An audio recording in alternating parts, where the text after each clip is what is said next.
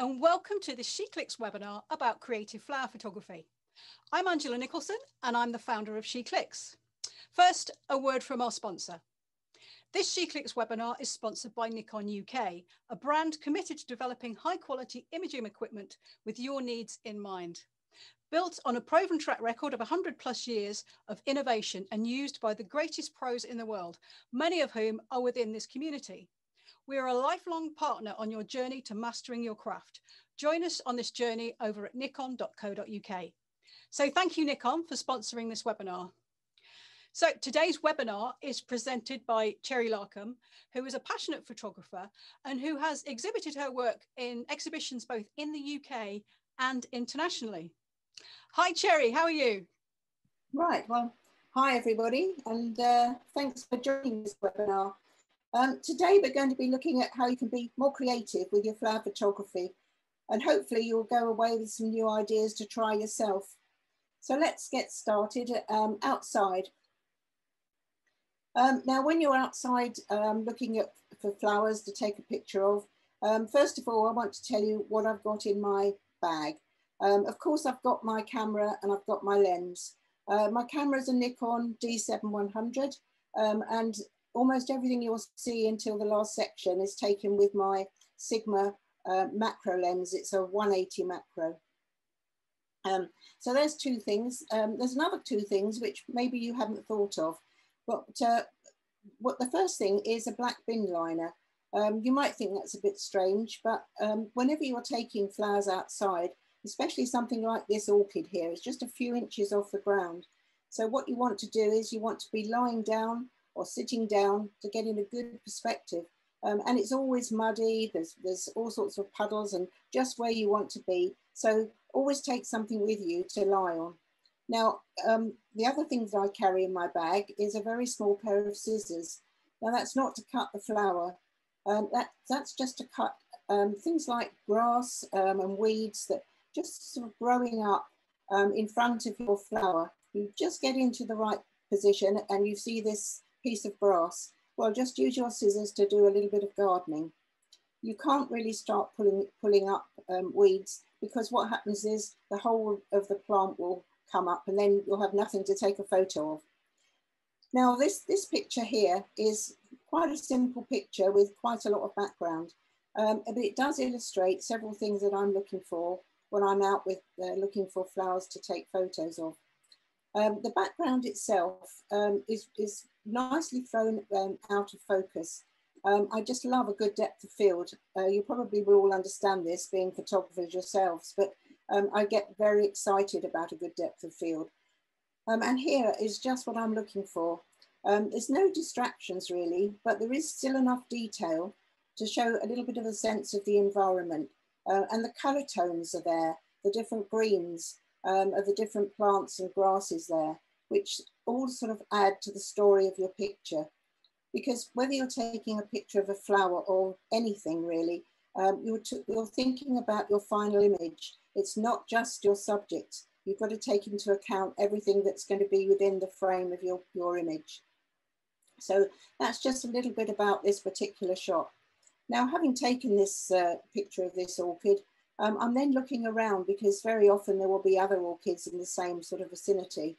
Um, so the next one I'm seeing is just a few feet away. Um, now this is the same species, it's just another um, common orchid, but uh, two very main differences here. First of all, the lighting. Whereas the previous image had very bright light um, of the sun coming through the grass, this one is under a tree in quite a dark area. So your background is going to be completely different. Thrown out of focus, yes, but much darker. And that's really adds a little bit more interest to this shot because, because the darker background makes your flower stand out more. But the other thing is that this, um, this particular orchid is only half out. It's half in bud still. And that really does add interest to your shot. So if you can find one like that, you're going to sort of make for a more interesting picture. Um, you've still got all the lovely detail, all the lovely colours in those little petals, but then you've got that lovely shape at the top, which really sort of adds interest. Fritillaria. Um, now here I would have been sitting on my black sack, um, just, just inches really away from this fritillaria. Now, the, there would have been a whole carpet of fritillaria here, uh, which look absolutely beautiful when there's white ones and these uh, sort of dark pink. Um, but I do like to get close and just isolate one if at all possible uh, and get all this detail. And having got that shot, just swivel around 180 degrees on your black sack. Um, and then in the other direction, you're then shooting into the light. Um, and, you know, found this lovely bud here, which sometimes is more interesting than the flower when it's out, but a completely different shot because of the light. Leucojum. Um, I live in uh, Ramsgate at the moment and um, quite near to us is uh, Walmer Castle uh, and the gardens there have some um, really beautiful flowers. Um, and these Leucojum, they're just like giant snowdrops, um, really, really beautiful. And again, it's all down to the light. If you can take it uh, with the light coming in the right direction, then you can get this lovely background. Verbena. Um, what struck me here, and I just had to take the shot, was the light uh, coming towards me uh, and making this lovely rim light on the stem. Um, and I, the background as well, um, I really loved this uh, sort of mottled uh, purple uh, of all the flowers on the other side. Um, and I could have um, cropped it down a little bit, but the two reasons really why I didn't. Firstly, because uh, one, I, I, really liked the, uh, the background and wanted to keep in as much as possible, but mostly because I felt this verbena was almost like a person here there was a head, there was a long neck and two arms outstretched, looking up to the sky. Now, and, you know, with, with less at the top there, it just wouldn't have worked as well for me. Californian poppy. Now, the, the poppy itself here with the petals is really lovely. Um, it's caught the light just right. Um, it's beautifully sharp um, and, you know, the, the flower head itself is really lovely. But I fell into my own trap here um, because when I got it on the computer, I realized um, that I was concentrating far too much on the flower and not about my background. Um, and as, as, you can see, bottom left, we've got some in focus grass. Halfway up the stem, we've got another um, Californian poppy with this bright orange coming through. And then at the top there on the right, we've got some uh, purple flowers, which are very distracting. So what, what to do? Yes, I could spend hours and hours in Photoshop cloning out and, and uh, you know, trying to sort of uh, correct it all. But there's a much easier way and a much more creative way, uh, and that is to crop. Um, a very, very dramatic crop. But immediately I've, I've eliminated all those distractions at the bottom. Um, and the purple flowers on the right, I just loosely selected those um, and uh, in hue and saturation, just lowered the saturation of the um, reds and magentas and it just took out a little bit of the color there. So whereas that is unusable really, I now got a, a, an image that uh, I think that I could use. Snowdrops are obviously very beautiful. And here I'm sitting on my black sack looking at this clump of snowdrops. Now this isn't the, sh the shot that I'm going for. It's not the one that I'm really wanting. But very often, if I'm walking around and seeing flowers, I would just take a shot where I am. Um, it just gets you into the mood and gets you into the sort of feeling of uh, what, you're looking for. Um, and as I'm looking for one snowdrop, if you like, to sort of isolate it and get the detail, I'm looking at the background here and thinking the background here, even if I could isolate one, is far, far too light. I want something darker. I want a, a white snowdrop on a dark background. So uh, having sort of got in my mind straight what I'm actually looking for, I start to wander around and eventually I come across one snowdrop which is hanging over some dark bracken. Um, it had been raining, so I've got the, the raindrops there as well, which just adds that little bit extra. Um, but, you know, now I'm really, really showing up the detail of this uh, uh, white flower. And for the following year in February, I was at Walmer Castle Gardens um, and I saw this snowdrop with a ladybird in. Um, I really took it because I'd never realised that ladybirds were flying around in February and uh, also that they liked going in snowdrops. I'd never seen one in a snowdrop before. Now, if you're thinking about being creative, you don't always have to take a picture of the whole of the flower. You can get right in close um, and take a picture of just part of the flower. And very often, this is uh, something a little bit more interesting, even a bit mysterious, uh, because uh, not everybody will know what the rest of it is like. And it's got the added advantage, of course, that there's no, um, you don't have to think about whether your background is distracting or not, because there isn't any background. You've filled up the frame with the flower. Um, this, this is a huge flower, huge, huge bloom, and it sort of reminded me of um, a fried egg, to be honest, uh, but uh, I, I think it's quite dramatic with the white and the yellow. And this was taken uh, just a few inches away, really, on the same day. Um, very often when it's been raining hard, um, the, the weight of the raindrops on flowers will make them sort of drop over. Um, and uh, if you can then look at the side of them like this, um, you can get quite a good shot.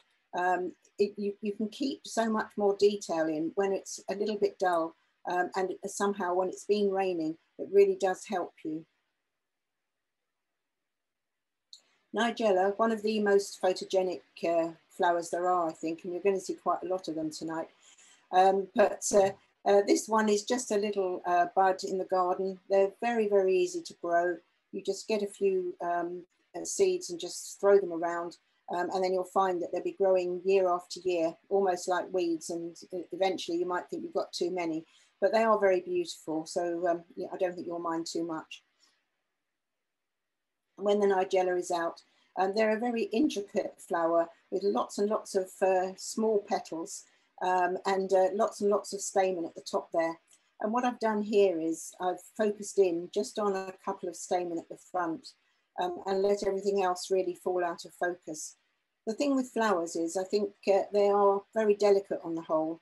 Um, and so uh, if you can sort of get softness into your photography, uh, I think it really does enhance your flower and, and really suits it.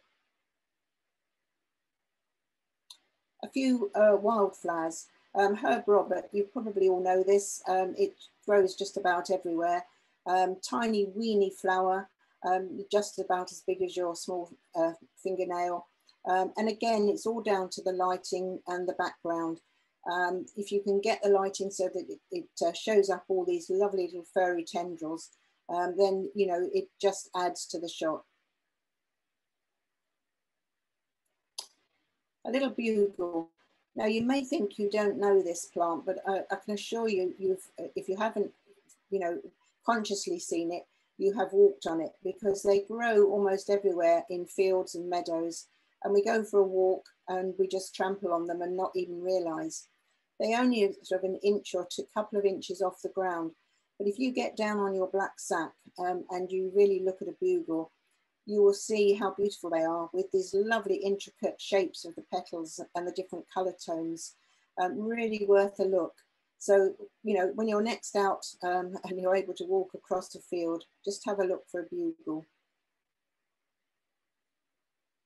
Red campion, um, again, a very good example of how the buds uh, can be a lot more exciting than the actual flower. Um, and uh, it's just the shape, really, the shape of this um, red campion bud when it's at this stage in its development. Um, it sort of hangs down like a dewdrop, uh, really beautiful. Again with the lighting, really showing up those furry bits, um, makes, makes such a difference. Uh, this is the red campion when it is out, very beautiful indeed, but not quite as beautiful perhaps as the bud itself. And white campion, Silene latifolia. Um, it's the only um, Latin name that I'm going to quote um, in, in this talk because um, one, I don't really know all the Latin names, but secondly, um, it, it, it, really is the, I'll tell you a bit more about it in a moment, but uh, uh, it's white campion. It's the same as the red campion, but uh, obviously white. Um, it does grow almost like a weed.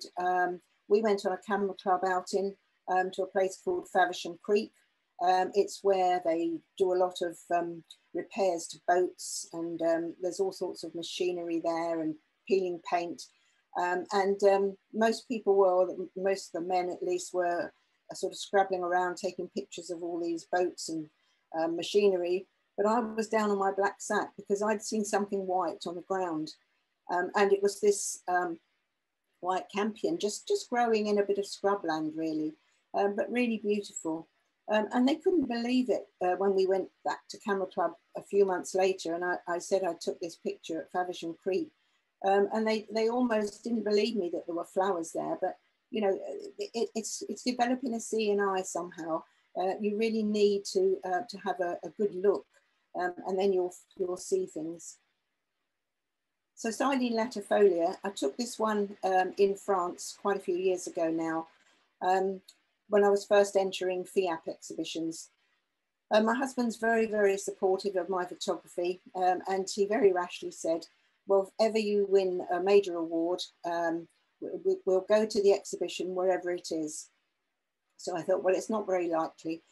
Anyway, a few months later, I had an email to say that my Silene latifolia had won the best wildflower in exhibition uh, and it won a FIAP gold medal. So he said, oh, well, where is the exhibition? So I said, well, um, Toronto. Anyway, uh, true to his word, two weeks later, we were on the plane and we went to Toronto to the exhibition. Um, and Toronto International Exhibition is run by Toronto Camera Club.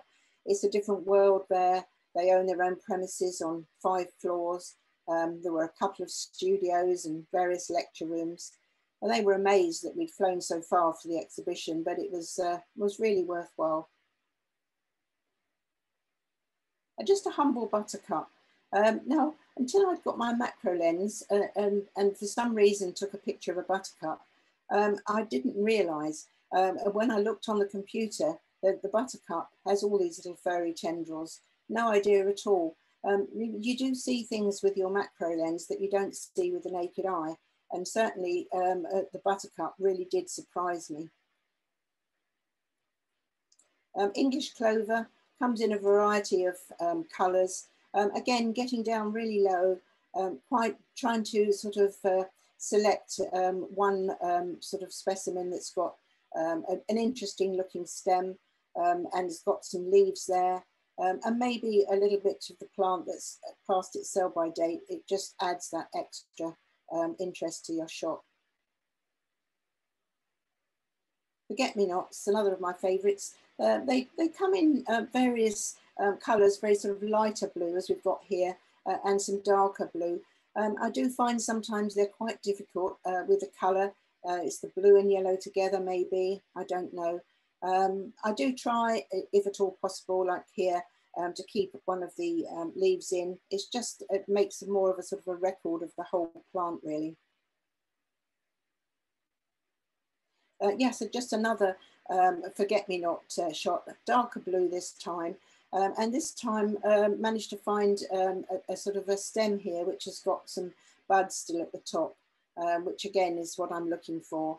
Um, and uh, you know, again, trying to get the background so that there's not a lot of other uh, forget-me-nots in the background, which are going to be distracting and uh, not let them show up as much. You can't have any flower show at all without bluebells, I don't think.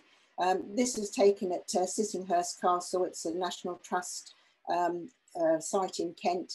Um, it, they've got a fantastic wood there, and uh, obviously there's a carpet of bluebells at, at, in the right time of the year.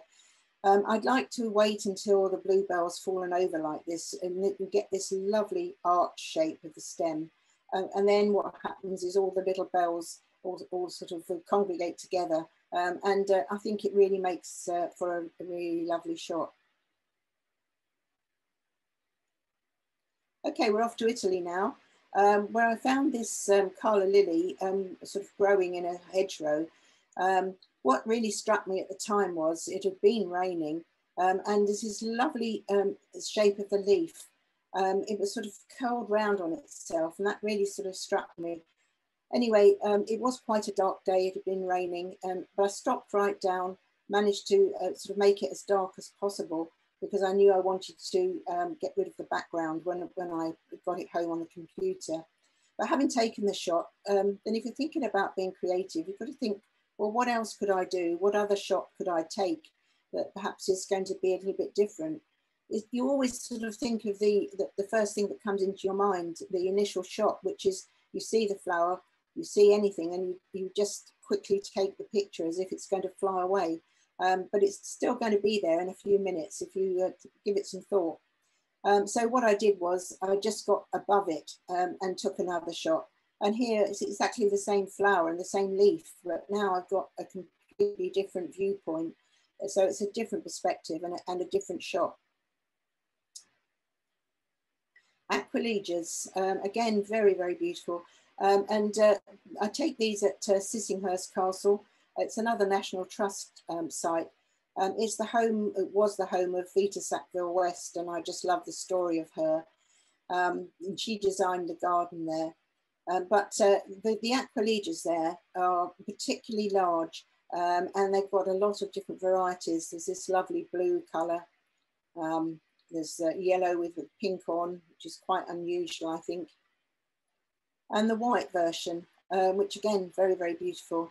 Now a little tip here, because we all know how difficult it is. If you're taking a picture of anything that's white, um, swans, for instance, um, flowers of any sort, um, if it's a bright sunny day, you, are really hard pressed to keep the detail in uh, because the sun just bleaches it out.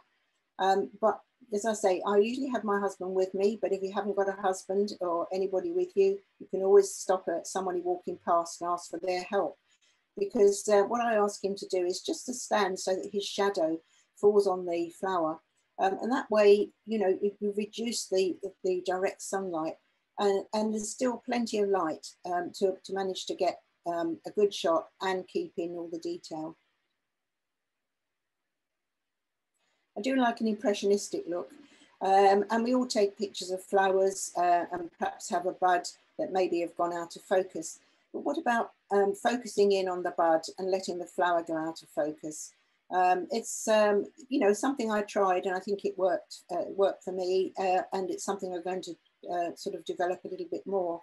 Um, but just an idea to have a go. The inside of flowers. Um, very, very difficult um, with the lighting. And I should have perhaps said earlier, but I always rely on natural light. I don't use flash at all on my flowers.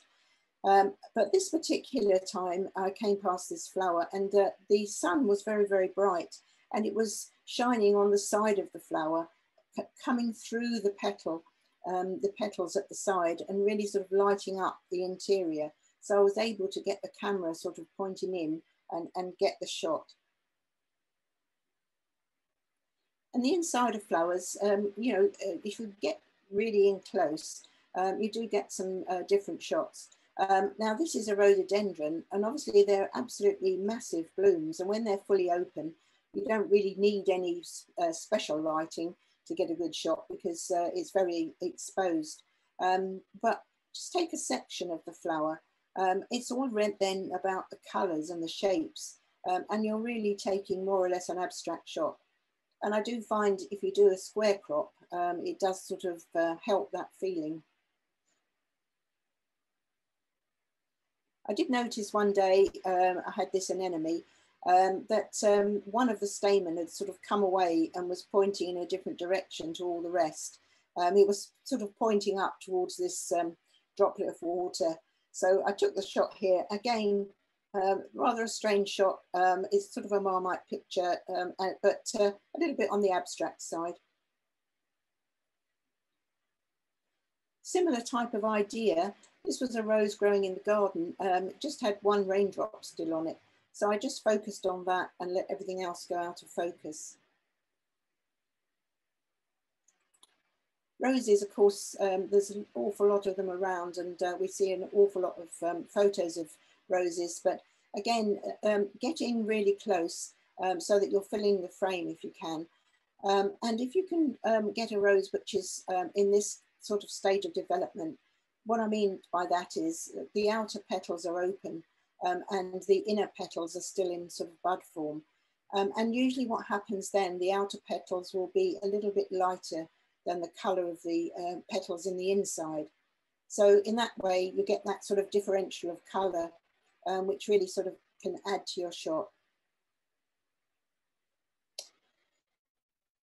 Now, if you're thinking about being creative, um, you don't need to take, always take a picture of the uh, front of the flower. sometimes the back of the flower is even more interesting. Um, and uh, I saw this giant sunflower one day, it was growing in an allotment near us. And um, I looked up and I could see the picture straight away. I could see this semicircle of yellow and the semicircle of those strange looking leaves and the top of the stem there was sort of like the three parts of the, of the flower, if you like. Anyway, so I said to the chap in the allotment, do you mind if I come in and take a picture of your giant sunflower? It really was very, very giant. And I'm only five foot two. So I arrived with my step ladder. Uh, I got halfway up the step ladder and pointed the camera up and uh, got the shot. Um, and it was just as I had sort of composed in my mind. Um, and again, with a square crop, really does seem to work, I think. Magnolias, again, so beautiful. Um, this was taken at Agatha Christie's house in uh, Devon called Greenways.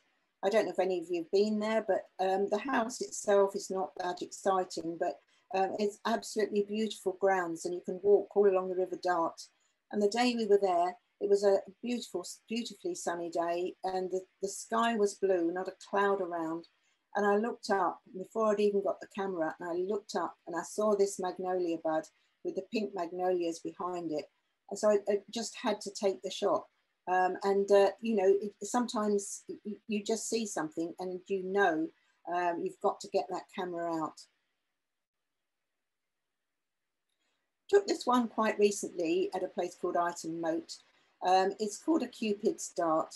Um, rather a strange looking flower, I think. The petals are sort of oblong shape, rectangular shape, and with this sort of pointed bits at the end. And then underneath, you've got this sort of silvery part.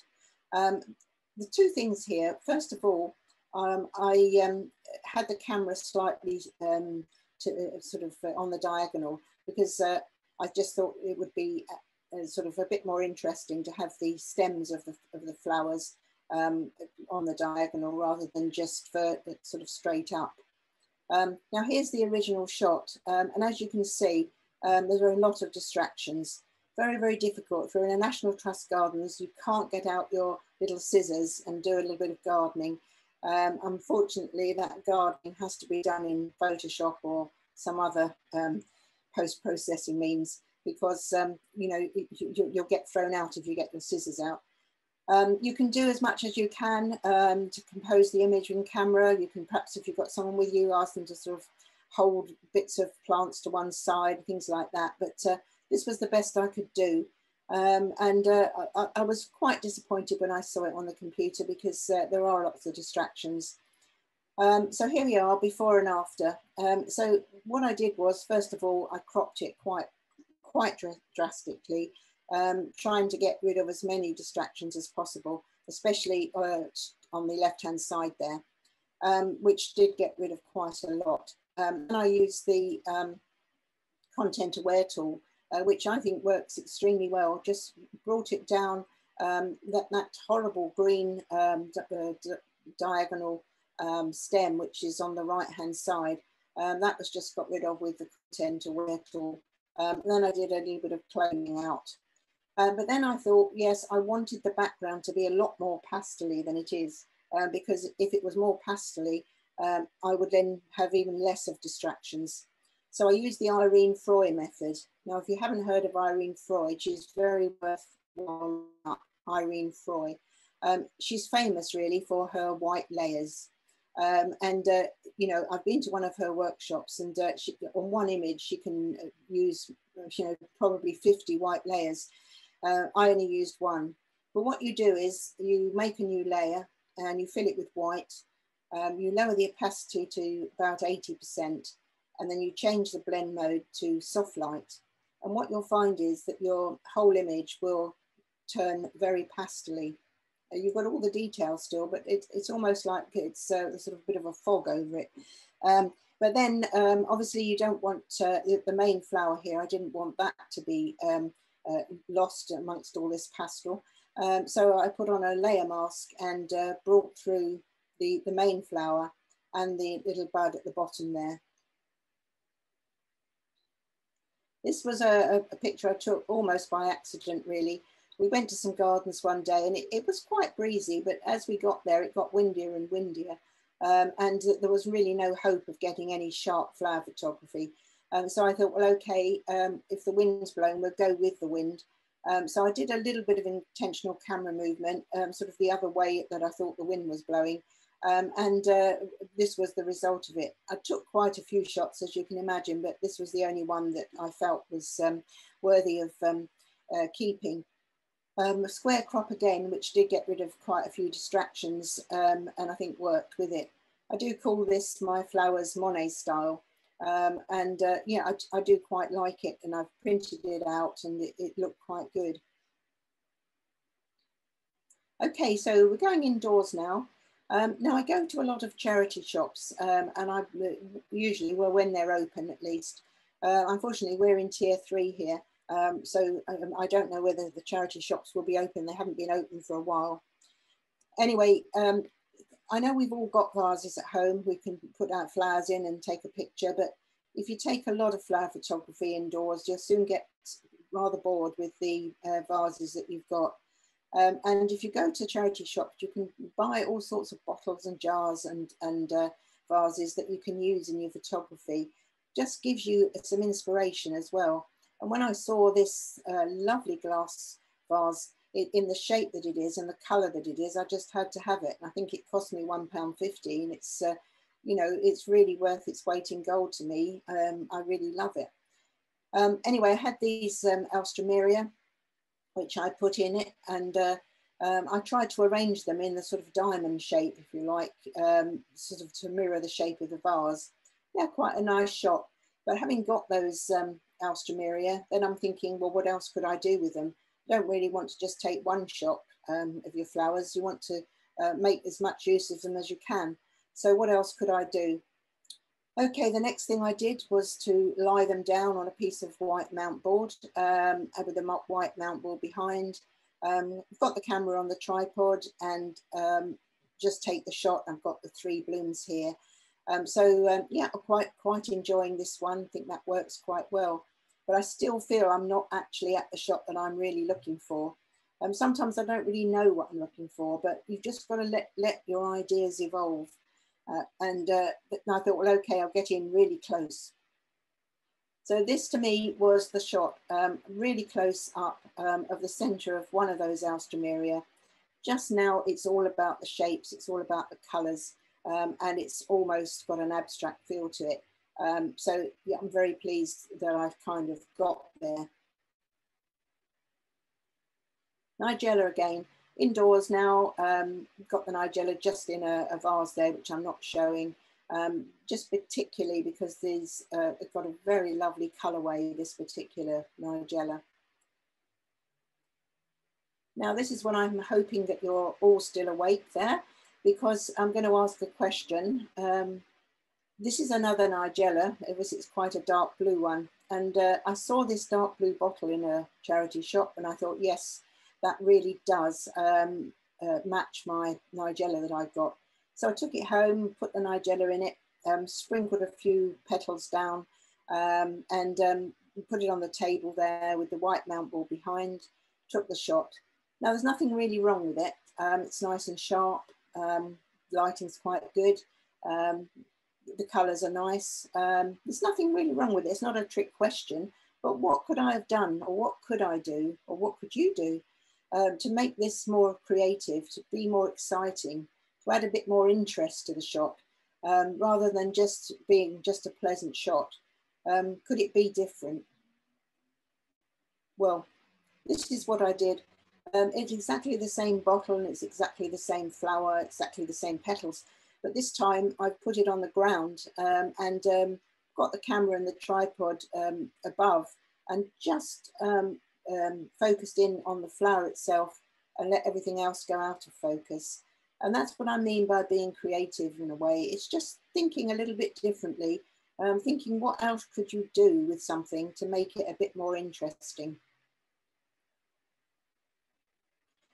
Free Nigella again, the main sort of colours really, the blue, the white and the, and the one in the, with the sort of blue and white. Uh, again, just lying down on the white mount board and uh, letting them go out of focus at the back there. Um, but, uh, uh, you know, I'm looking, what else could I do with the shot? Okay, so um, what I did was uh, I duplicated the layer um, and with the bottom layer, I put on a lot of Gaussian blur so that it was really just the colours left, the colours and the colour tones. Um, can't really see the, the flowers at all. And then on the top layer, edit, transform, scale, make the, the, uh, the, the uh, um, that, that layer slightly smaller um, so that uh, the, the layer underneath looks as if it's um, a frame. Um, very easy to do. Um, and then if you want to take it a step further than that, you can um, do something with the, um, the center part there, put on some texture maybe, or this is just a little bit of the oil paint filter in Photoshop. Nigella seed heads are very, very photogenic. The one on the left there is um, quite a, a, fresh one. Um, and uh, you can see that by it's still got some of the green left in it. Um, the one on the right is, is, probably quite a few months old. Just keep it till, till it's um, um, very uh, sort of uh, brittle um, and it will change colour and be a sort of a brown colour. here I have put a little bit of texture on top just to add the interest there, but basically that's the sort of colour that your um, Nigella seed head will go. Another charity shop vase, I know you're probably getting fed up with me saying that, but I've got so many of them now. Um, if I if I see one that I, I can recognise as the colour will match with the flower I've got, then I just have to have it. Um, and I had this uh, blue cornflower, um, and so this uh, little vase really really did uh, match up completely. Um, so I took the shot here and uh, there were lots of things I liked about it, but other things I didn't like. Um, I loved the uh, blue reflection underneath where the light was coming through our skylights um, and uh, sort of lighting up underneath. I didn't like the reflection of the skylights in, in the, the vase, which I could have got rid of in Photoshop, but something stopped me. A lot of negative space, which um, I wasn't really quite sure what to do with or whether to leave it or what to do. So I just filed this away in a possibles folder um, and it had sort of been there for a couple of years. Um, and then I sort of got it out one afternoon and thinking I really should try and do something with this. Um, and then I just did have an idea. So what I did was I loosely selected the, uh, the cornflower and pasted that onto another layer. Um, and then eliminated that, that on this layer by just painting white on it to sort of um, get rid of it completely so that I was left with more or less just the um, vase itself. Uh, and then I, I, had to go with polar coordinates. Uh, if you haven't tried polar coordinates, do have a go. They're great fun to work with. Um, and what, what it does, polar coordinates, it, it uh, distorts your picture. Um, and so then I pasted back I, I, from the layer above the, uh, the cornflower, just flipped it over so it was in the right uh, um, uh, direction now. And what I've got here now is some reality with the flower, but distortion with the vase itself. Um, and the other thing that polar coordinates does is it very often will give that sort of swirl of colour, um, which to me, I, I, I, sort of, I really quite liked it. And uh, the, the bonus here is you may be able to see it in the vase. Can you see a black cat? You should be able to see two bright eyes there and a black cat. Um, I didn't see it till somebody pointed it out to me. Um, but I'm not going to uh, uh, get rid of it because I quite like it. I do keep all my flowers until they're very, very uh, past their sell by date, until they're really, really dead, in fact, um, because they become very, very photogenic. Um, this tulip was once, you know, perfectly upright with a lovely green stem. Um, and uh, now it's fallen over, it's changed its color. The texture is all sort of brittle um, and the petals contract so you can uh, sort of revealing what's inside. Um, so it's a completely different look. Um, very sort of minimalist picture really, very sort of um, plain vase, but uh, really kind of um, accentuates, I think, the fact that the flower is dead. Um, I did call this What's Left of Me, uh, and it's done very, very well in exhibitions. I don't do very many mono flowers, but um, because the beauty of flowers is in the colour most of the time. But if you've got something like this, which is quite graphic, then I think it does work if you want to change something to mono. It was my birthday a few weeks ago and um, uh, a friend sent me uh, some lovely white roses Um, and um, as, the, as the days have worn by, especially with central heating, um, some of them started to sort of, uh, well, I don't know, get past their sell by date is probably the right expression. Um, but once they do that, they start to get um, really kind of quite uh, hard and brittle. Um, and uh, these, the little shapes and the little textures in the petals become more accentuated. Um, so um, one of them, which had gone a rather sort of a funny shape, I don't know why, uh, nothing I'd done to it, um, but sort of took my eye. So um, I took that upstairs um, and um, had a go at taking uh, some macro, really close macro photos of it, of sections of it. so there's, there's one, and as you can see, the detail there, and that detail doesn't come until your flower is past its sell-by date. When it's fresh, um, it's lovely and smooth, um, but you know, it changes completely. Um, so never throw them away if you if you want to take photos. And the center part, um, again, um, a change shape um, and really sort of gone this sort of squashed up look really. I can't really describe it in any other way. and on the other side, a similar one to the previous one, and then because I love doing triptychs, I thought, yes, this just lends itself to a triptych. Um, so uh, putting them together like this um, is really, uh, you know, you've made a, a picture out of um, something that really a lot of people would uh, have thrown in the bin before now. Another setup, if you like, um, another um, charity shop vase. Um, uh, I gave a talk once to a, a, club in uh, Rye in Sussex um, and I stayed the night with um, a really lovely lady there, a member of the club. And when I left, she gave me some flowers from her garden um, and they lasted for quite a time.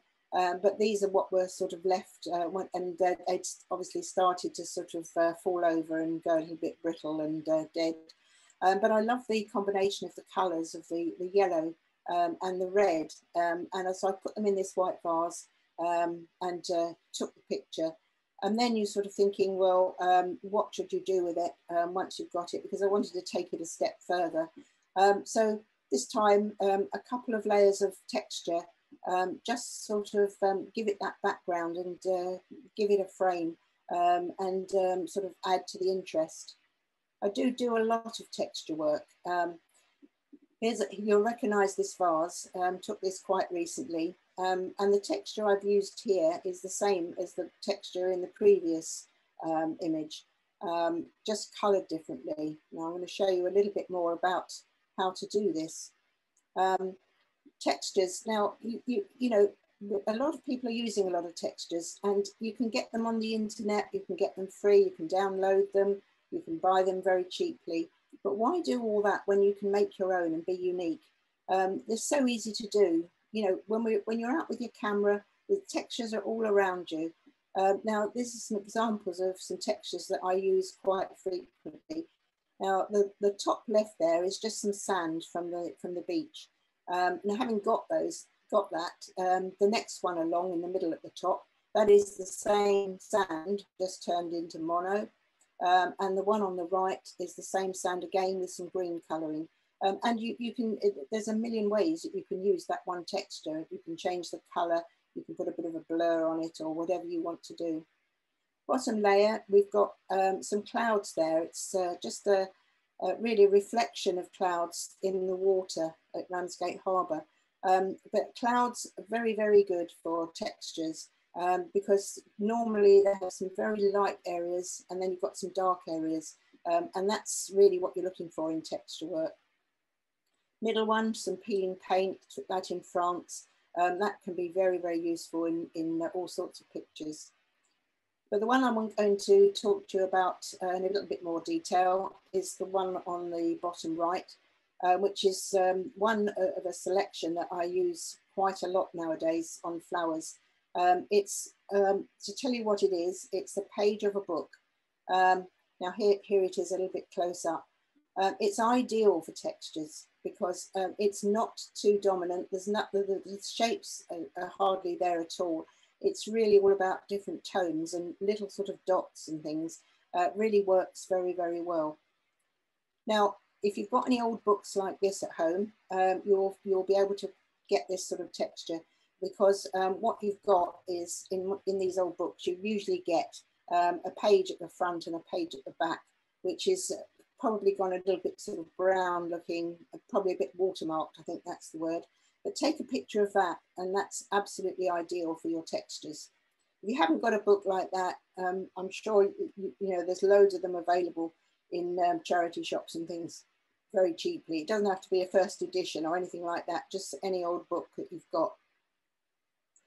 So um, having got your texture, uh, we're going to run through on this picture um, how I uh, will actually use the textures. Um, here we've got um, a little inkwell with uh, three leaves in, very simple picture. Um, so here is the, uh, the start. Um, it, it's, the, it's the sort of start image, just the three leaves in this inkwell, straight shot, got it right in the center there. Because when I took this, I had an idea what I wanted my finished image to be. I did want it in the center. So the first thing I did was to duplicate the layer. And on that second layer, um, I put quite a bit of uh, Gaussian blur um, and then just move that layer with the move tool slightly up, slightly to the right, um, and then lower the opacity down um, so that um, what you get is sort of like um, a ghosting. I think that's probably the best way of describing it. I didn't want it to be pin sharp. I wanted it to look um, a little bit like, like it does there. Okay, so the next thing to do is open up your texture and um, drag and drop it onto your picture, um, or you can um, copy and paste it and it will go into another layer, uh, which it has here. So, um, so there's my book um, texture on top. Now, if it, you've got a square image here and you started off with a texture, which was a rectangle, um, it, it, doesn't really matter. You just go to edit, transform, scale, and then just with the, um, the corner um, uh, uh, sort of things that you can uh, latch onto, just bring it down or, or make it bigger um, for the size to fit your image. Um, it, it, it, won't matter that you're distorting it really because uh, in this way, the texture that you're using really uh, is, is still going to be coming through in, in just as a, a good a way. So next thing to do is I duplicated my texture layer. Um, and this time I wanted the, the second texture layer to, oh, I, I, think I forgot to tell you that I did change the blend mode to multiply. Sorry, I'll just go back. Um, yeah, so adding your texture layer um, and uh, you're changing your blend mode to multiply. Um, if you didn't change the blend mode, then all you would see is the texture and you wouldn't see your picture underneath. Um, there's loads and loads of blend modes there, and um, uh, we haven't really got time to sort of wander through them all. But uh, do you can uh, experiment with all the different blend modes and see which one suits you best. But when you're doing this type of uh, texture work, um, you're most likely to be using multiply or soft light or maybe overlay. But um, in this in this instance, we're using multiply. So then I'm going to um, duplicate that layer again. Um, it's already uh, on blend mode multiply because the, the, we've just duplicated the layer before. So this time um, I'm going to um, go to edit transform scale again and just reduce the size of that layer um, because that's a double texture now. Um, and I didn't want the double texture on the whole of the image. I just wanted it on that middle part.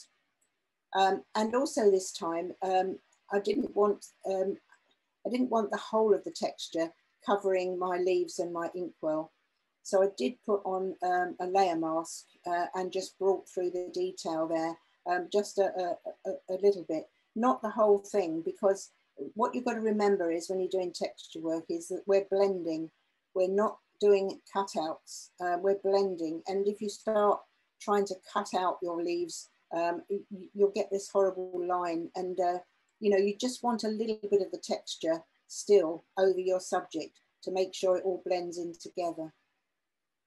So the next step, the final step was to do the same thing again to duplicate that layer um, and this time um, I reduced the size of that uh, texture layer again and also this time in hue and saturation I just added a little bit of magenta just to add a different color to that, uh, that one texture layer.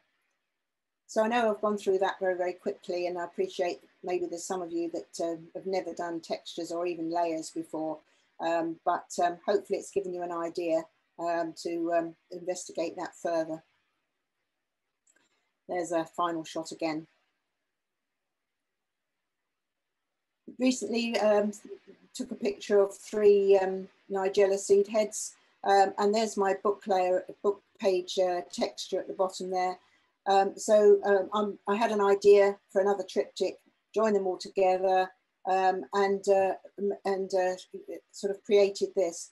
Um, the background there is sort of two layers of the texture um, and then um, all, all, those, the, th the three uh, Nigella seed heads are on separate layers with one, one bit of texture on with the opacity lowered down. Another way of adding, you can call it texture if you like, but it's just color um, to, to your image, which is very, very effective. Um, now these uh, three um, uh, little tulips here, um, what I did here was because it was a white background, which is a little bit stark, uh, I just used my eyedropper tool to select the uh, purple in the tulip um, and then um, create a new layer, fill it with the purple um, and then just lower the opacity down to where you think looks right. And so your background then is an absolute uh, match uh, for the color that's in your tulips. You know that it's really matching up. You haven't got to select color from any color wheels or um, anything. You, you, you, you've just given it the exact color. Dead daffodil. Um, now, you know, I've talked about dead flowers before, but they you know, one of the beauties of the dead flower is it changes shape so much. Um, and, um, you know, it, we've got this lovely angle here um, in the stem. Um, and I, I just love the texture that you get in the petals as well. So this was just um, a dead daffodil, put it in this black vase and took the picture here. Quite a heavy shadow, uh, which uh, uh I quite liked.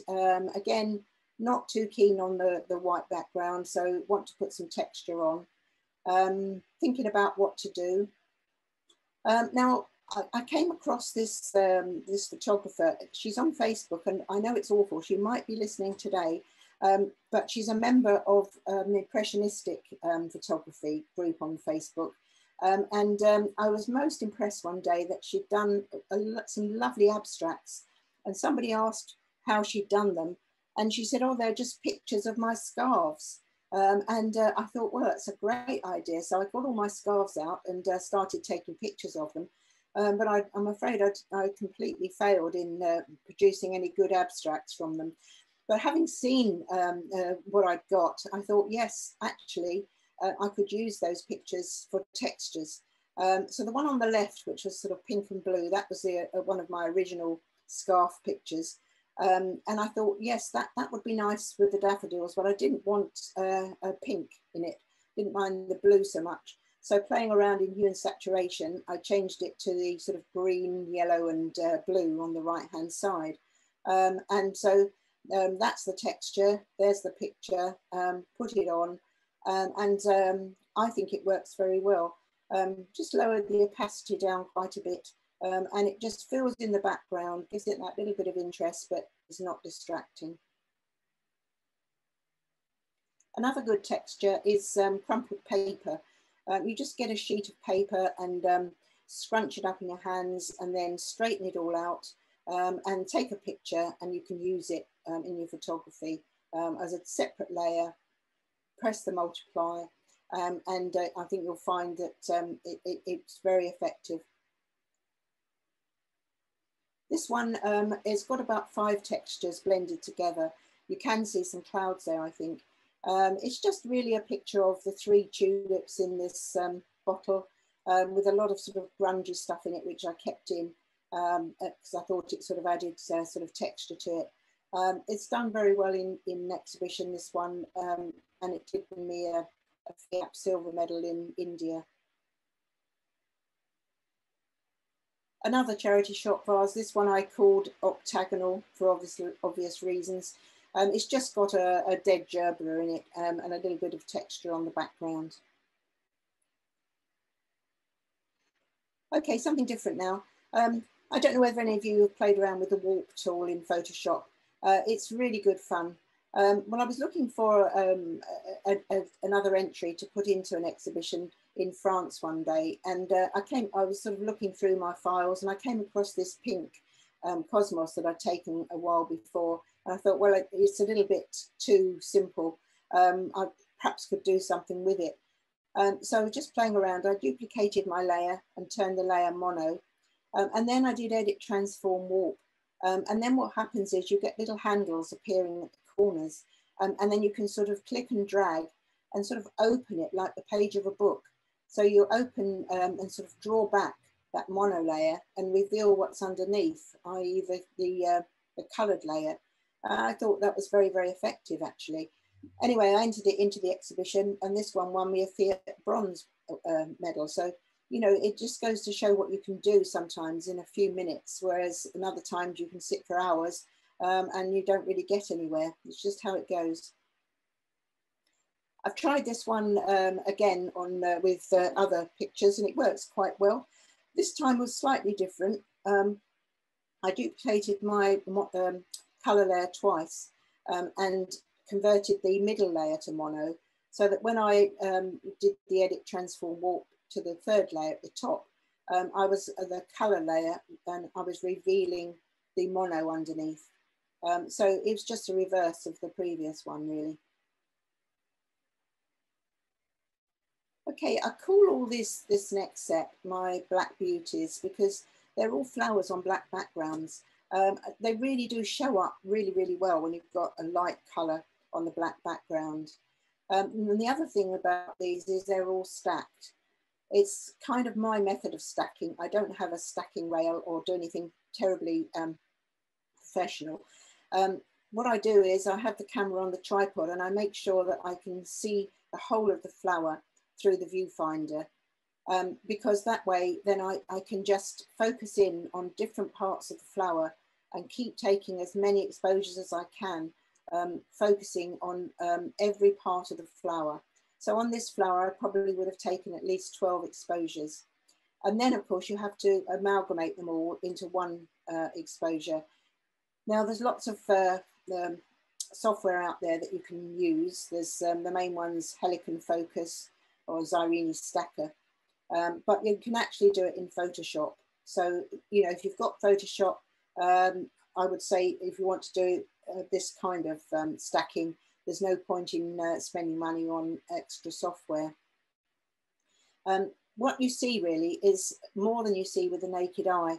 Um, it's, it's sharper than we would normally see with our naked eye. Um, and it gets the impression that it's almost 3D. It's sort of coming out in the middle there. Um, and uh, it's quite effective. It's the, it's the opposite of uh, softness in flowers. This is the sharpest that you can get in flowers, if you like. Um, but it's quite effective. I've got a few more here that I've done. Um, daffodil, parrot tulip, aquilegia, really, really sharp, right from the tip of the top there, right down to the, the tip of the um, uh, petals at the bottom. And on this one, I then looked up inside it um, and did another shot. Little dog rose, um, and you can see all the lovely um, little details in the, um, the petals there, all the veins really, really showing up. Uh, clematis. And some dahlias. Um, dahlias are really good flowers to, to take pictures of because they're normally very large blooms. Um, so if you haven't got a macro lens, you can still get in quite close and get a good shot. Um, again, these are stacked um, done outside though, um, which uh, was a bit of an experiment, but, um, it did work.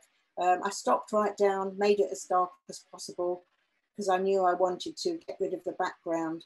It was quite a dull day, which uh, worked in my favour. Sometimes you just need a little bit of luck. Um, but dahlias themselves, um, they are very beautiful and there are so many different varieties that you can um, find. White one, and this very, very colourful one. Um, this isn't a dahlia, this is a passion flower growing in our garden. Um, quite difficult, I think, with one exposure to get all, everything sharp.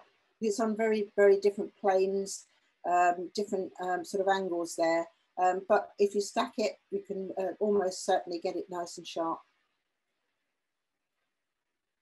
Just as a little sunflower, not a giant one this, this time, but again stacked, uh, and you can see how sharp that center is. Okay, we're on to something different again now. Um, now we all put flowers in water in vases, but what about putting flowers underwater? Um, it's a concept I hadn't even thought about, but um, I came across this Spanish photographer, Pilar Pequeno, um, and she does what she calls submergent plants, um, and she just sort of puts them underwater. Um, and uh, I saw a couple of her images and I thought that's worth having a go at experimenting. So um, this was my very first attempt. I had it in a glass vase. It was a bit like um, a, a tank, a small tank. It's just a little rectangle. I just put some tap water in and I plunged this osteospermum underwater. I had a, uh, the room very dark, uh, just a little bit of light coming in from the landing door, um, just sort of lighting up um, the, the vase itself. Um, well, okay, I looked at this and I thought, yes, I quite like the right hand side, left hand side, complete rubbish. Um, so uh, I did, uh, you know, a drastic crop. Um, for some reason, I turned it into sepia. Can't remember why now, uh, but um, uh, I quite liked it. I thought, yes, it's certainly worthwhile having um, a bit more experiment on these. Um, what I did notice was that loads and loads of bubbles formed, and it was only tap water, so I wasn't quite sure where the bubbles came from, but uh, I thought I'll see what happens with something else. So I put uh, a couple of chrysanths underwater. Um, this is the original shot, very untidy at the top there. But um, I noticed that the, there was a lot of bubbles formed, but they were much smaller bubbles um, than with the previous flowers, which was a bit strange. Anyway, quite liked some of the lighting, so I um, did a crop again and um, um, wondered, uh, still was wondering about the bubbles. I put some hydrangea underwater and uh, when I took it out uh, put it under the water, there were no bubbles at all. Um, but when I did take it out, um, obviously it was wet and it sort of glistened in the light. Um, so again, um, it was something that sort of evolved, if you like, from a, a failure. Um, but um, again, I took the shot, uh, quite liked uh, the idea of this on the black background. Rosebuds underwater. Um, lots and lots of bubbles, all appearing uh, and clinging this time to the flower itself. Um, now, I give this talk quite a lot, and um, I always uh, sort of were wondering about the bubbles. Um, but a few weeks ago, I had an email from somebody who was at um, one of my talks, and he said, Oh, I'm a retired chemist. And he said, I know why you get the bubbles. He said, It's because the natural wax on the flowers, um, it's a reaction to that uh, and the oxygen um, in the water. So um, I didn't quite understand it, but apparently that's uh, what it is. Uh, which did explain why I didn't get any bubbles at all when I put a dead rose into the water because it was brittle. There obviously wasn't any of the natural wax uh, left. Um, and uh, of course I was quite disappointed because there were no bubbles. Um, so in desperation, I just put a bit of um, washing up liquid in and sort of swished it around but then, of course, all the bubbles just stayed at the top, and I really wanted them at the bottom. So in Photoshop, just turn the image 180 degrees, and lo and behold, you've got bubbles at the bottom. Um, and I quite like the lighting here, so I did want to keep it. Anemone underwater. Uh, I can't say these are bubbles. It was almost like it was snowing um, which uh, was quite strange, really. But again, it, it's a it's it's a concept really to um, experiment with, perhaps on a rainy day, and you've got some flowers indoors. Um, see what happens when you put your flower underwater. Something different again, but I'm sure a lot of you, when you were children, had a flower press like the one at the top. Um, and they were quite good fun. You unscrewed it, you put in your buttercup or your daisy or whatever you picked, um, and you screwed it all up again and then you waited about six months um, and then you unscrewed it and you've got a pressed flower. Well, that's great, but I'm very impatient. I couldn't possibly wait six months. So I've got myself a, a microfleur at the bottom there. it does exactly the same job. It's made of sort of a plastic material um, and you unclamp it just the same, put your flower in, but then you put it in the microwave um, and 20 seconds later, you've got a lovely pressed flower. Um, and, uh, you know, pressed flowers are great if you put them on the light box um, and then you get this light coming through from underneath um, and it sort of lights up all those lovely petals and the details um, Alstroemeria here, which um, is sort of a combination of a lot of things. Um, an Alstroemeria that's really very past its sell by date, um, in the microwave, on the light box, um, and gives you uh, this lovely sort of um, uh, petal interest and also this lovely um, detail coming through in the leaf. This one I kind of turned into a bit of a sort of botanical example, but uh, I think it worked for me anyway. Alstroemeria um, that um, not dead, uh, very fresh, uh, and obviously they've got a much more sort of vibrant colour. Um, put those in the microwave, um, and then obviously when they come out, they're flat um, and it, very translucent, and so they sort of reveal what's inside. So you can see all the stamen here, the little sort of dark um, sort of circles. I think that uh, you know is, is quite lovely. and it, it, I, as I say, I love doing triptychs. So um, I made a triptych of this one. I think it, it works quite well. Here's my light box. A lot of people say, well, what is your light box? It's um, uh, I got it on Amazon. It's A3 size. Um, um, uh, there's lots of them on Amazon, very, very similar, um, different sorts of makes and things, but um, um, there's, there's, a huge variety that you can get. Um, but they're very useful. This one has sort of two levels of brightness, which uh, which is good. Which is good, I think. Some of them have three. I've noticed now. When this tulip came out of the uh, microwave, um, it had gone a, a, rather strange shape, and also a couple of the petals had fallen off. So when I put it on the light box, um, I, it gave me the feeling that the wind was blowing from the left there and was sort of blowing those petals off. Um, so uh, I arranged it um, to, to show that um, and uh, that's the feeling I got from it. Bluebells in the microwave work extremely well. Um, they, they, really do show up um, what's inside um, and you know sort of fallen over into this this sort of lovely sort of arch shape. A little bit of texture on here just to sort of finish it off. I think this is my favourite shot. It's perhaps not the best, but um, I, I, really love this because of this lovely little curl at the top there um, and the way that the, uh, the inside of the bluebells is really, really showing up. Very often flowers that come out of the microwave have a blue tone. I've no idea why. Someone will probably tell me eventually, but uh, I have no idea. Um, um, whether it's um, uh, something to do with the, uh, um, the makeup of the petals. Um, I don't know, some sort of chemical reaction. But these little osteospermum were white when they went in the microwave and they're blue and they've come out. Anyway, uh, I thought they were quite nice and I've arranged them in this um, uh, way uh, because I do make quite a lot of um, birthday cards and cards for people. Um, and uh, I thought that would make a really nice card. Um, so I cropped it down into the shape of the, the size of the card that I'm going to print, um, put some texture on the back there and uh, put a happy birthday. Um, and then we, we, we, can print it out. You can buy uh, cards nowadays um, that have already got the, the, the crease in um, and you can print on them. Um, and uh, so, you know, your friends and family will be absolutely um, so appreciative of a card that you've made yourself for them.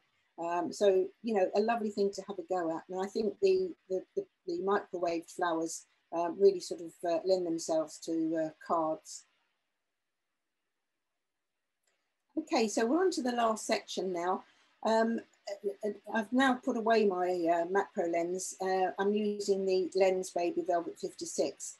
Um, and uh, I think it was three years ago, I went up to the um, photography show in Birmingham uh, because I'd seen lots of photographers that uh, do flowers were producing some lovely images um, with the Lensbabies. Um, and uh, so I, I, thought, well, maybe I could uh, find a, a, special offer or something and, and get one. So I had a look around up there and yes, I, I did find one that uh, had quite a bit of uh, discount.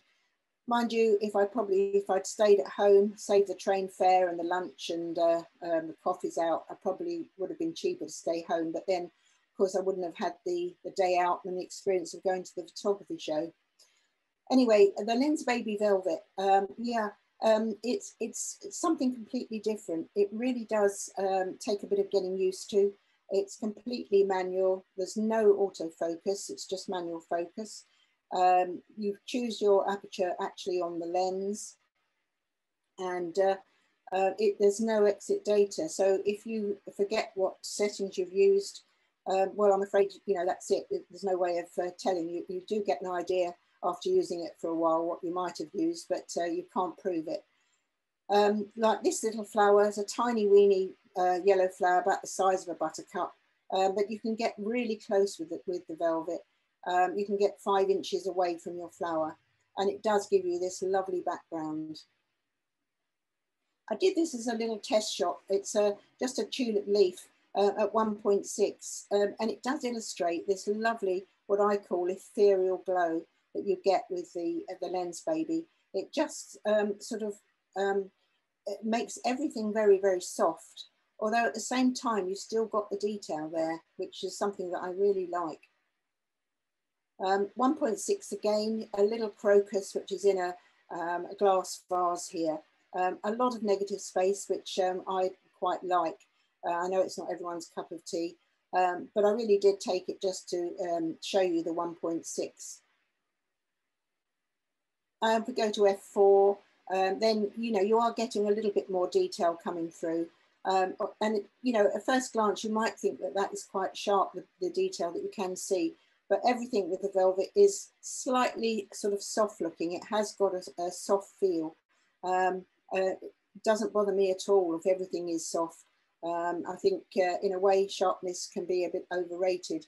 But um, when we saw the um, images earlier, my Black Beauties, which were ultra sharp with the um, stacking, this is the other end of the scale really. We're talking softness. F4 again, Little Biden, um, but this one really illustrates the background. Um, you know, with the macro lens, I can throw my background out of focus and get this lovely depth of field. Um, but what the Lens Baby does, it sort of adds to that. It kind of picks up all the lighter pixels and makes them glow. Um, it, so you get a completely different feel to your photography. Little tiny um, macro uh, picture taken with the Lens Baby.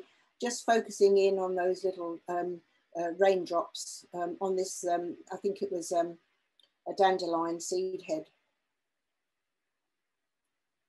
Little stitchwort, they're tiny weeny flowers, but uh, it, this really does illustrate how the lens baby sort of homes in on those lighter parts of the, of the image and really makes them glow um, and really stand out. Uh, and back to Nigella again. Um, this is that same Nigella uh, that we saw earlier, um, but this time um, I've really kind of just homed in on this one little um, droplet of water in the center. Uh, bluebell bud um, and all those raindrops have really sort of picked up um, all the sort of foliage that's around and, uh, you know, sort of given us this, this lovely sort of magnification, if you like, in the water droplets. Just, um, um, I think this was a little pansy. Um, it's just really all about the, the uh, water droplets. Yellow on yellow, um, colours on colours uh, really work well with the Lens Baby. Um, it's just really picking out um, the, the, the, green, the shape of the stem and the, uh, the part of the flower, um, and just tiny weeny bits of the petals. little buttercup. Was down on my black sack. Light was coming through the grasses um, and just focusing in really just on that one little buttercup. Honeysuckle, um, love the shape here um, and just kept in a little bit of the bud at the bottom. Again, the lighter parts either side uh, really sort of picking up uh, with the lens baby. Not quite sure what this sort of flower is. um, but I really liked it at the time and um, very sort of delicate, really kind of lends itself to the to this kind of um, image. Okay, so this is, I think we're almost at the end now. Um, Calla Lily, um, I took this uh, Calla Lily pictures um, a couple of years ago um, and obviously in colour to start with the pink at the top there. Um, and again, um, sort of made them into a triptych, uh, which I quite liked. And then shortly after that, um, I had an email from the um, Cotswold Monochrome exhibition. It's a BPE, that's a British Photographic Exhibition um, exhibition at, it's held in Gloucester. And uh, every year I enter, not not with flowers necessarily, but it's it's the only national monochrome um, exhibition there is in the country. And uh, you know, I always enter. Well, they had that year, they had a, a, new section which was just for triptychs. So I looked at my Calla Lilies and I thought, yeah, I'm going to turn those into mono and I'm going to enter. And lo and behold, it won the gold medal. Um, so it was absolutely amazing um, to, to actually yeah, one to win a gold medal, of course, but secondly, uh, with uh, a lens baby picture with nothing in focus whatsoever, uh, which I think really does say something that uh, photography and judges perhaps are beginning to accept that not everything needs to be as sharp. So I hope you've enjoyed it and uh, picked up a few hints, uh, but I'd like to leave you with a couple of thoughts here um, because it's not all about your, your equipment. It's not all about you know, where you go and flying off to, you know, expensive places. Um, if you can do these things, develop your seeing eye and let your ideas evolve, I think really you're going to improve dramatically and quickly. So over to Angela now. Cherry, that was fantastic. Thank you. There's lots of people saying how much they've enjoyed your images and enjoyed hearing from you. Um, we have lots and lots of questions. So in some cases, people are asking for sort of reiteration of things that you've said. So, you know, just clarification. Um, quite a few people say um, they missed which camera and lens you use. So perhaps you could just uh, repeat that, please. Yes, it's the Nikon D7100 um, and the macro lens is a Sigma 180. Okay, so it, uh, the D7100 is an SLR rather than a mirrorless camera. That's right, yes. Yeah, I'd love to try the mirrorless camera. I think that this new uh, Z6, it, it looks uh, very interesting, but um, you know, one day maybe. okay, uh, thank you for that. So that was the a 180 lens. Um, Tracy was asking if you could recommend a good reference book for wildflower identification. Oh gosh, um, I have got a few books, but um, I can't remember the titles. I'm downstairs, but um, I tend these days to Google things. There are so many good sites for, for um, identifying flowers. You know, you can sort of put in it's white and the, you know, the petals are two inches and this sort of thing. Um, and it sort of narrows it down. Um, so I do tend to use that sort of thing rather than books, to be honest. Okay. Actually, uh, someone has said that uh, there's an app called Picture This, which you can use on your phone and you take a photograph and it helps you identify the flower. So that might be worth looking at. Pretty handy. Um, okay. Oh, uh, a lot of people are asking whether you use any artificial lighting at all, either indoors or outdoors. Outdoors, no, never. Um, indoors, hardly at all. I do have one small LED light, which occasionally I might might use, but very, very seldom. Yeah. Okay. and is that stick to natural light? And what about um, using a tripod? Do you tend to handhold or use a tripod or a beanbag or anything else to support the camera? Well, I'm very strange. I used to carry my tripod everywhere I went, but I got so, uh, it, I find it so cumbersome. I find it restrictive. I prefer to be able to move. Um, so I never take a, a, tripod out with me. I do use it indoors, especially for if I'm doing, um, you know, the stacking. Um, so yeah, it's a bit odd, but um, that's the way round I do it. Okay. So um, someone else was asking, uh, well, quite a few people have asked what apertures you tend to use. Do you shoot quite wide open then so that you've got, you know, you, um, so you can freeze any movement? Um, I'm normally, um, I'm doing sort of F8. Um, I find right. that gives me the detail and a good background out of focus, but um, okay. 5.6 maybe Okay, yes, because you're going quite close, aren't you? So that will really flow out the background. Okay. Um, oh, Pat missed at the beginning what the black sack was. Um, it's a bin bag. Basically. It's a bin bag, but I mean, you know, it's just a bit of plastic, basically. I must say, I, I I carry a bin bag around with me a lot. I just you just can stuff one in, in your camera bag yeah. and you don't notice it's there yeah. until, like you said, you want to kneel down or lie down, and suddenly it's great because you just spread it out and you don't get covered in mud or you know just wet so and even if it's a dry day sometimes you kneel down in grass and after a while you start to realize that your knees are getting wet so yeah. very very handy good good recommendation do you ever use any reflectors no I have got one, but I've never. Uh, I, I, I, I, took it out with me once, and that was it. I didn't take it anymore. Um, I, am not very um, uh, kit um, orientated. I just like my camera, uh, and I like you know my um, lens, and that's about it really. Okay, fair enough. Um, is there a particular time of day that you tend to go out and shoot?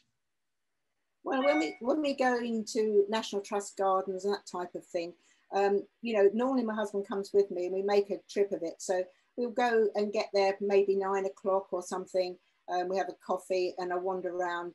Um, I mean, it, it just depends on what the weather is that day, to be honest. I mean, bright sunlight is not good.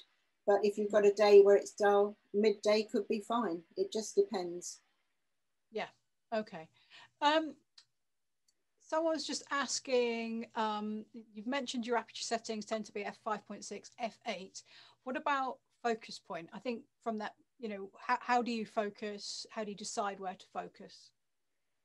Um, well, I, I, mean, if it's an orchid or something, it's more like that. I'm just focusing on the middle part of it and hoping that I get the whole of the flower um, in focus. If I don't want the whole flower in focus, or I just want the stamen or something, then I would get in closer and perhaps use it F4 maybe. You know, it just depends on what you're aiming for. Yeah. Okay. Presumably, when you said that you sometimes focus stack, presumably then do you have the camera on a tripod and you just yes. yeah, and you move from point to point within the yes, focus on one point on the flower yes. and then another point, another point. That's it. Yes, don't move the camera. I just move the focal point. Okay. Um, just trying to spot some different uh, questions. Oh, we've got the black sack, that's all covered.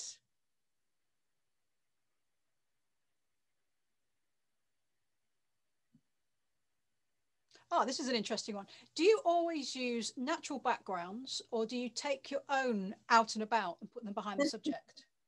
No, um, I use whatever's there. Um, uh, uh, yeah, somebody told me uh, on a talk uh, the other week how they took um, sort of um, five foot high um, perspex backgrounds with them. And I thought, I can't see me carrying those, through, you know, it just wouldn't do. I'm sorry. Yeah, I can understand that. Yeah, you leave your backgrounds at home. Yeah. No, um, I, I'm very simple, really. I use either white or black mount board for the backgrounds usually, um, and then put on a texture or some sort of color in Photoshop if I want something different. Okay. Um, just for, for, those people who don't know the Nikon D7100, um, is that full frame or cropped? It's, it's, it's APS-C sensor, isn't it? It's not, it's not, full frame. Yeah. Okay. Uh, we had an interesting question from uh, Facebook, which was um, with things like snowdrops, which tend to grow in a carpet, do you restrict yourself to just photographing the ones on the edges, or you know, how, how basically how do you avoid crushing them? Um, well, I think if you walk around, you'll you'll you'll, you'll see um, a, you know a, a, carpet of them uh, sort of closely uh, growing, but then towards the outer edges of that sort of um, area of snowdrops, there will be single ones. Um, if that's what you're wanting, you'll you'll find them. Um, it's a case of looking, really. I think. Yeah, I, I think um, bluebells can look like a huge carpet. Yes, yeah, so when you get you, close, they're if not. you weigh very carefully, you can find some which kind of separate. Um, I don't know what that is. Uh, someone was asking um, about a specific question, which was the um, lily, which had quite a dark background, and I wanted to know what your camera settings were for that.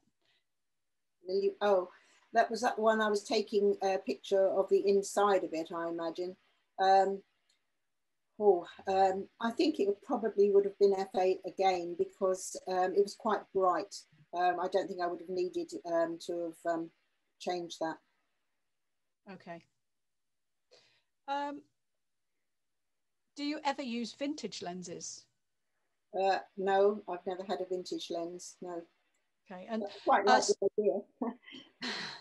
someone was asking about Lensbaby lenses. That basically, that Lensbaby is a brand of lens, and they make them in a range of different fits. Um, so presumably you have the Nikon F mount for yours. Yes. And there's all sorts of different styles and different effects that you can get. But you went for the velvet, which is it sort of gives you that nice sort of diffused glow, doesn't it?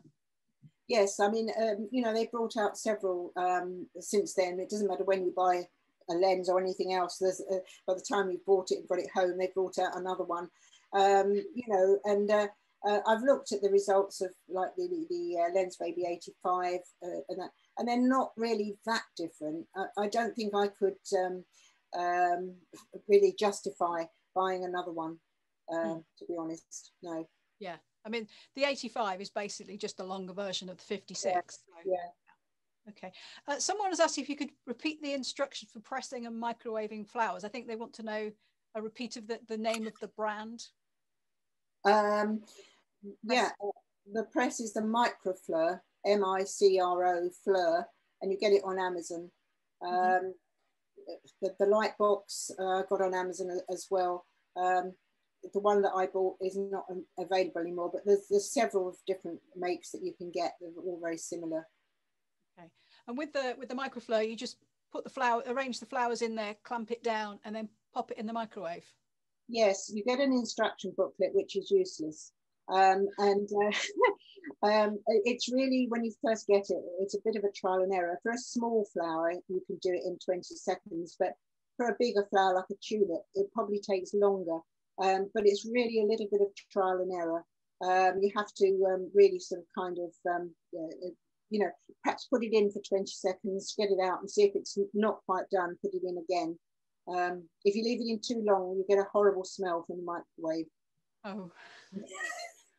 I know that smell. I, I, managed to burn some popcorn at the weekend. um, and so do you put them in on full power? Yes, on full yeah. power, yeah. Okay. Um, just, oh, uh, someone has asked if you could please explain the white layer again and give the name of the photographer that you mentioned. Right, it's Irene Froy, it's F-R-O-Y. Um, and um, what she does is she uses a layer that's filled with white, um, almost like a texture layer. Um, you lower the opacity to about 80%, change the blend mode to soft light, and it will just make your image very pastely. Um, that I mean, that's the basic um, thing, but you can obviously use it um, a lot more complicated ways. But if you look up Irene Froy, if you're interested in that, she'll, um, I mean, I don't know if she's got any videos or anything. Okay, thank you for that. Um, do you use the same lens, you know, your 180 lens when you're shooting sort of more still life shots indoors with your vases and things? Yes, it's the short answer. I, I just love the lens. And you don't use any extension tubes or anything like that? I do have um, um, some extension tubes, and sometimes I do experiment with them and the macro lens, but um, I don't generally um, really that sort of keen on the results. So um, I stick to the macro usually. Okay, and um, again, you're sort of sticking to f8. That f5.6 potentially is the settings. Yeah. Indoors as well. Right. Okay. Thank you. I noticed that triangular vase that you've got. I mean, that's that's quite a find. It's a real dramatic yes. shape for images, isn't it? Yes. Yeah. I guess you've got to be careful, like you said. You said you you know you soon get bored of your vases, and something as distinctive yeah. as, that, you can't use that in every shot. But what no, you get bored with that eventually, so uh, that's why I have to keep buying more. okay. Um, oh, Carmen says when tier three is over, she's off to Ramsgate charity shops and she's hoping to get there before you. Good luck with that. But hopefully, I think there's a lot of people who've been doing various clear outs. So hopefully, the charity shops will be yes, know, definitely full with lots of great stuff. Um, interesting question. Do you tend to use uh, spot metering or average? Um, I don't really change any metering to be honest. I just leave it as whatever it is. Yeah. I mean that I guess that's the beauty of a, a digital camera. You take the yeah. shot, have a look, and you think, oh, I just need to brighten that or darken it and adjust the exposure accordingly. Okay. Um, someone has asked, what is the name of the app that you use to distort the vase? Oh, it, it's not an app. It's um, it's in Photoshop. It's polar co polar coordinates. Um, there are a lot of video, uh, YouTube videos on it. So if you just put that in, you'll you'll find lots of them. Okay. Um, Jan has asked, how do you get such a white background in your shots? Um, well, the indoor ones, yes, I, I, just use a piece of white mount board. But um, uh, if you've got a plain background, it doesn't matter if it's white or whatever color, you can select it very easily then in Photoshop and, you know, um, change your levels or change the color very, very easily. So if you want it whiter than you than it actually turns out, then it's very easy to do that. Okay. I guess that, that's a good example where, um, say, if you've got a fairly small flower, it's quite small in the frame against the white background, it could trick your camera into underexposing. So it might end up looking a little bit gray. And that's an example when you'd want to increase the exposure a bit to make it all a bit brighter. Mm. Um, do you ever use complementary color backgrounds at all? No. Okay. So I'm just making sure we tick through these off. So everyone's getting theirs answered. Oh, um, Linda's interested in how you enter your images for competitions and um, exhibitions. Well, um, if you want to um, uh, go for your photographic distinctions, there's a lot of them out there. And I'm not talking about the RPS because um, the RPS are just panels, not, not competitions and exhibitions. But BPE, which is British Photographic Exhibitions, if you look up their website, they have annual exhibitions and you enter your um, images and you get points. And then once you get enough points, you get your distinctions. And it's the same with FIAP. Um, and with FIAP, you're entering exhibitions all over the world, um, which is very exciting. I found it, you know, really interesting. Okay, thank you for that. Um, someone said with your macro lens, when you were using, uh, sorry, when you're taking photos of inside the flowers, is that still um, oh, sorry, no, it's, it's the photos in flowers. You've answered that question. You still use your 180 lens. Um, someone else has asked if you um, use Photoshop or working with the textures.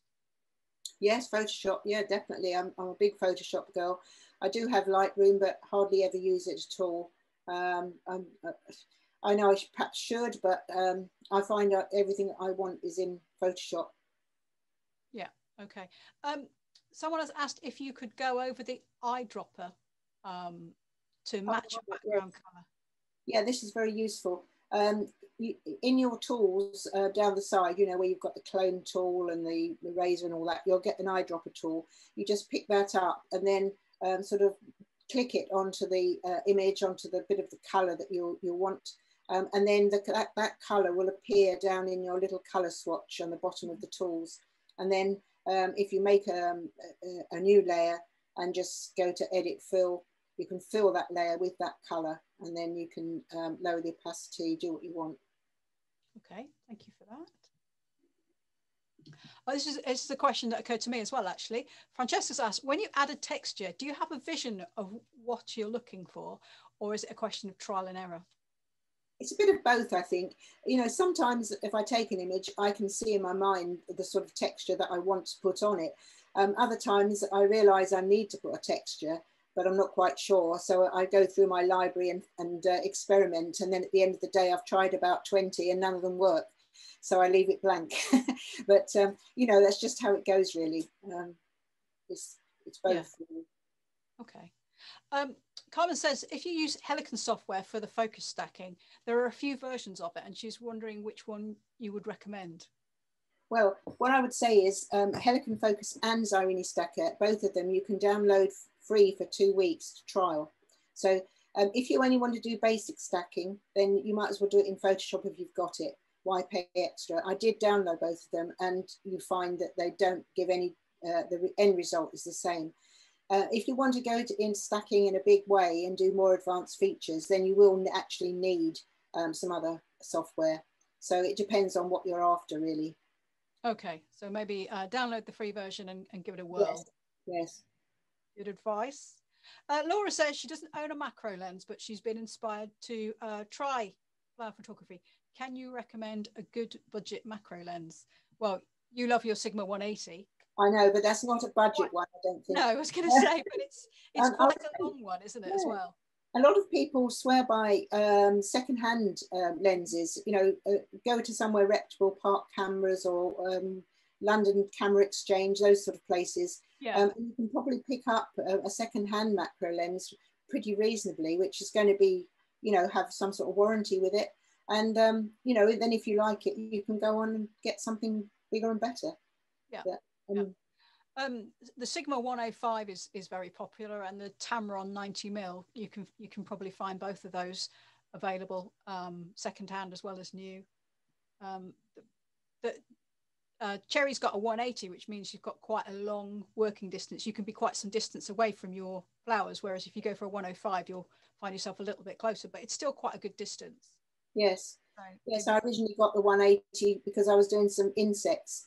Um, and obviously that, that's the advantage that you don't have to be quite so close. But, um, you know, depends yeah, what you're casting shadows and stuff. But so I think um, most macro lenses, there's more, there's more kind of 90 to 100, 105 macro lenses than yes, 180. That more popular. Okay. Um, Julie's asked what material you used for your black background. It's black mount board. Cheap as chips then. Yeah. That's what we like to hear. Do you ever uh, freeze flowers? Yes, I have done. Um, I hadn't got that. That's um, there's an awful flowers are so versatile. There's an awful lot of things I left out of this talk, but um, freezing flowers is a great uh, way to have a go.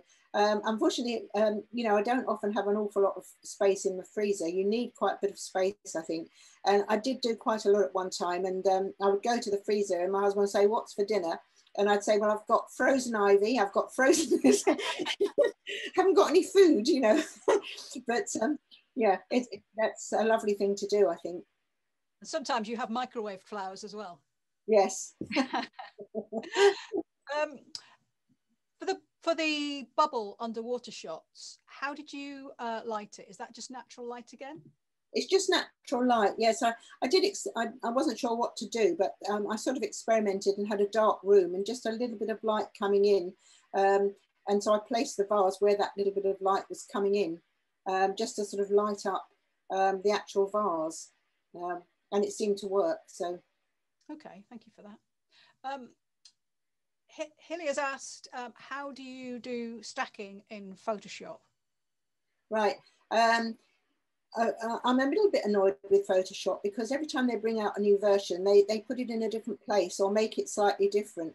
Yeah. Um, so, you know, whatever version you've got, if you Google, um, you know, uh, Photoshop um, stacking in Photoshop and put your version in, it'll come up. Um, but basically, it's under the automate um, menu um, but you have to go through various um, stages to sort of get there. It is a little bit long-winded, but you know, uh, you, you, could, it, the end result is as good as you'll get with the um, software that you've actually got to pay for. Uh, it just it just takes a bit longer. That's all. Okay, thank you for that. Um, where do you share or sell your work when you, you've finished your photographs, or do you share or sell your work? Um, well, I, I, belong to a group called Verve locally, and um, we put, uh, well, we were doing up until March when we had the lockdown, uh, we were doing quite a few local exhibitions and uh, um, selling uh, pictures, uh, you know, sort of framed pictures locally, um, which was quite quite exciting. Um, but um, apart from that, I don't really, you know, sell anything to be honest. I, I, am on various sites like Picfair, Dreams Time. Um, for instance, Dreamstime, I've been on there, I think 10 years um, and um, don't give up your day job. Um, I think I've made 150 pounds in 10 years. So I don't think it's, you know, you've got to have thousands, millions even of photos on there to uh, get anything. But um, Redbubble is good as well. I like Redbubble. I've sold a few on there. Okay, thank you. Um, a few people saying thank you very much. They've really enjoyed your talk and finding it very inspiring. Uh, Sally has recommended the Collins British Wildflowers as a good reference book. Ooh. And someone else said also an app called uh, Flora Incognita. Ooh. So they sound worth a look. Yes. Um, Ita's saying, oh, plastic poncho is a great item for your bag. So it's a bit like a, a black bag, but um, you can chuck it over everything when it rains, mm. including yourself, of course. um, Francesca has said you've got many distinctions, so congratulations on that. But were they all achieved through flower photography? No. Um, I've really been sort of kind of um, addicted, if you like, is the word, to flowers and things the last few years. But I still take a picture of anything if it, if it inspires me. Um, but no, I mean, in fact, uh, flowers are very, very difficult um, to get um, into exhibitions and things. Um, they're not the in thing, I'm afraid. So if you're thinking about doing more flowers, uh, be prepared. Um, they've got to be quite good before you'll get uh, noticed in exhibitions and things. Okay. Uh, this is perhaps why we need more flower photographers um, yes. getting involved in this sort of thing. This is an interesting question. Do you ever use supermarket flowers? What flowers do you photograph in winter months? Sorry, two separate statement questions. But, yeah, uh, yeah. Um, I, I, don't very often have supermarket flowers, to be honest, or garage flowers. They don't usually last very long. Um, I would say if you want to do a lot of flowers, make make friends with your local florist because um, the one in Rams, there's one in Ramsgate, and um, you know when florists have flowers and they're a little bit uh, past their sell by date but not dead, um, they can't really sell them, and so they let me have a huge bunch for a pound, um, and uh, you know, uh, or even when they're they're going to throw them away, they'll give them to you, um, and uh, you know, it, it's worth its weight in gold because they're quite expensive flowers, some of them. Yeah. Yes. And um, actually going to a florist, like you say, you do tend to get a better quality of flower. So, I mean, I I asked somebody to buy some flowers so I could photograph them the other day, and a photographer is a lot fussier than your average person when it comes to picking a bunch of flowers. Put it that way. they looked a little bit battered. Um, right. Oh, someone has asked what make of light box you use, but you said basically um, it was just one from Amazon that you can't yeah. find anymore. Yes there's loads of them on there. I had a look um, earlier today, and there's um, quite a few. Okay, thank you. Do you ever make books with your images? Yeah, I did. I have made one uh, book with the flowers. Um, I've done several books with my family history pictures, but that's another story. Um, but yeah, I like doing the books. I think they're they're really great. And um, yeah, if you if you do flowers, I think it, it does lend itself to um, do a book. Um, you can do them quite cheaply nowadays. Mm. Yeah. Okay. Just asking again for Irene's name to be repeated. Irene Froy, F R O Y. Okay, thank you for that. Um, oh, um, Leslie's asking what paper you use when you tend to print flowers. Well, right, I've got an Epson printer. It's um, a a P6 600 or SC 600 or something. Um, and uh, I always use Epson paper, mainly um, Epson archival mat. Um, it's, it's probably their cheapest paper, but it's marvelous for flowers. Um, it's just a, a, a, matte paper. It's just slightly off white, um, a bit sort of creamy looking, but um, it's excellent, I think, for flower photography. Great. Okay. Thank you for that. Um, and someone's asking if you could repeat the layer order um, for the white layer technique. The white layer, okay. So you've got your uh, original picture, um, then you make a new layer with the blank layer, fill it with white. So it's only this, you've only got two layers. You've got your background layer, your, your original picture, plus uh, the one new layer. Fill it with white, reduce it to 80% opacity and change it to um, soft light blend mode. I mean, that's it's not set in stone. You might you might think, well, okay, I'll lower it to seventy percent. It looks better. You've got to use your eye a little bit, you know. Um, but that's the sort of basic. Yeah. Okay. Thank you for that. And someone has asked if you could explain again how you get the frame within a frame on your background. Right, okay. So if you were just doing it with two layers, you've got your original picture, duplicate your layer, so you've got two the same. And then on the top layer, edit, transform, scale, um, and then you just uh, make your um, picture on the top layer slightly smaller um, so that the, uh, the one underneath shows as a frame. Okay, thank you for that. Um, this is an interesting one. When you've done uh, focus stacking, do you have issues of the flower um, sort of zooming slightly or the, you know, the, the size of the flower changing slightly when you shift the focus? Well, the thing is, if you if you haven't got your camera really steady on the tripod, um, you, when it all joins together, you're going to find that uh, some edges don't match up. Um, that that's the secret to it. And then you'll spend hours and hours in Photoshop sort of repairing bits, and uh, it, you don't really want to be doing that. So you've got to be very very careful. If you can use a cable release, better really. Mm -hmm.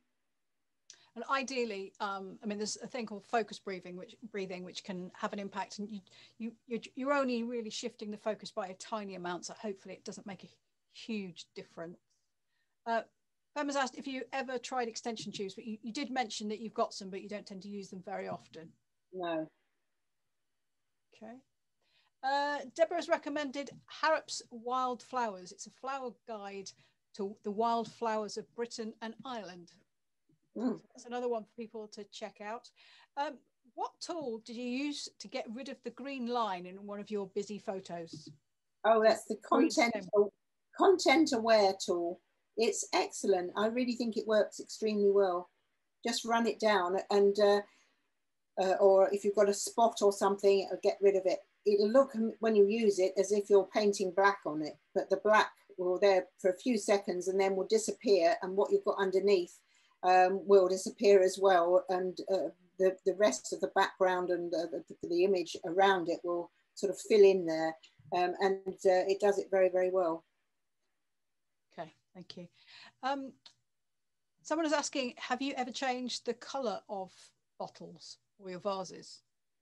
Um, not that I can remember, but I mean, there's nothing to stop you. I mean, if you've got one and you want to make it look a bit different, yes, change the colour by all means. As uh, yeah, nothing against that.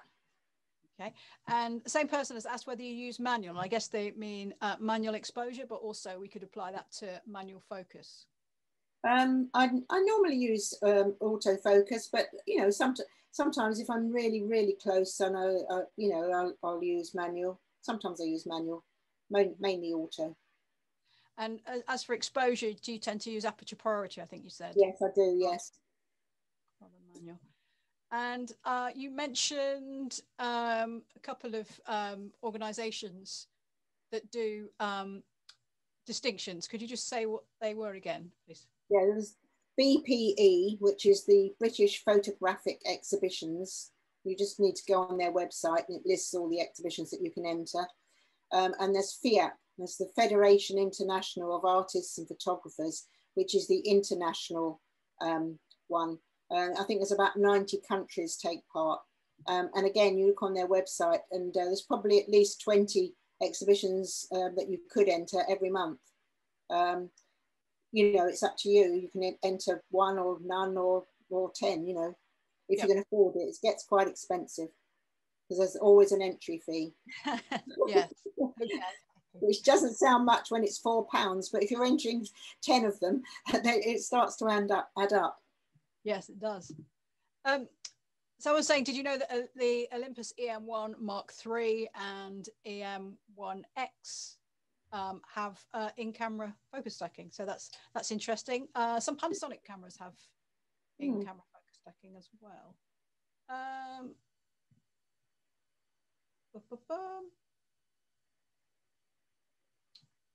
right, I think. Oh, someone's asking, how long did it take you to get BPE five stars? Uh, nine years.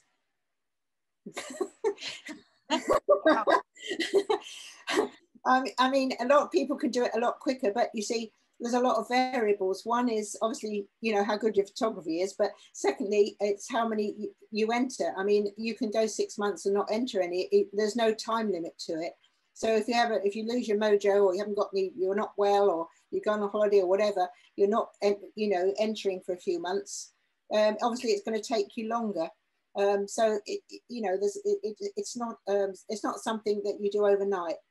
Just enjoy the journey, really, and it's lovely to go to the exhibitions. Yeah. Okay. So I think we've answered just about every uh, question or every variation of the questions. Uh, thank you so much. That's been really fabulous. And I've really enjoyed looking at your pictures, as have a lot of other people. Uh, so Cherry, well done. Um, that's been our biggest webinar so far. So uh, you're very Excellent. brave. yeah. Oh, that's great. No, it's great. There's so many people, um, you know, wanted to um, tune in about flowers. It's, uh, yeah. it's wonderful. No, it shows us interest in it. So yeah. perhaps some of those uh, judges need to pay attention. They definitely do. All right. Thank you very much, Cherry. Thank Speak you. Bye bye. Bye bye.